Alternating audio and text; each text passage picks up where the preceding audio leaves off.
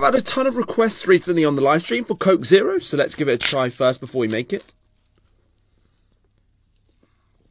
Okay, what's interesting is part of the branding is that this tastes more like classic Coke than the Diet Coke does, even though they're both zero sugar alternatives. So you'll pretty much know the score at this point. We're just going to put some orange, lemon and lime peel. So just start with the orange here.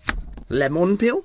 Finally, we'll add the lime. Again, it's slightly harder the rind on a lime. I wonder if that's just because it's smaller. Addition is going to be this vanilla pod, so we'll just cut the top and tail off and then slice it in the middle to get the beans out. Whole nutmeg into there, so just pop that in. Coriander seeds, a few there. We'll throw in some juniper berries as well, get some in. Uh, we'll do lime leaves next, so a bit of lime flavour in. Just cinnamon sticks, we'll do about half of one of those. Lemongrass in. I always find it amazing how colory it smells already. Mad. Okay, we'll just give this a little crush just to infuse all the flavours into it. So your next step, you've got to add hot water. So just pour some in.